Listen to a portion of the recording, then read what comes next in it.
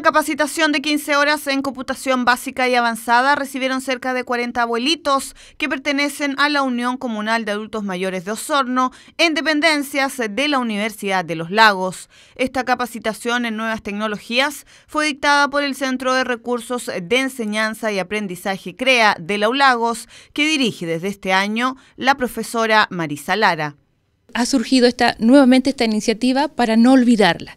Eh, sabemos que el adulto mayor, eh, ellos en este momento es el mes de agosto, están en sus casas y nosotros queremos activar, en este caso, invitándolos a la universidad a participar en estos cursos de capacitación.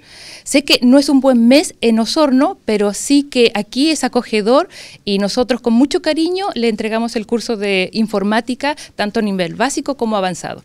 En total fueron 40 los adultos mayores que se sumaron a este curso, 20 para el nivel avanzado y 20 en el curso básico. 15 horas de capacitación y además se les entregó certificación a cada uno de ellos. Bueno, es una de las cosas que habitualmente la universidad ha hecho siempre, es eh, darle apertura a la, ciudadanía especialmente en este caso a los adultos mayores. La idea es que esta iniciativa se pueda seguir desarrollando más adelante. Ya estamos pensando en replicar esta iniciativa el próximo año. Aún no tenemos eh, definida la fecha, pero creemos que es importante vincularnos con el entorno y en especial con los adultos mayores, agregó la profesora Marisa Lara.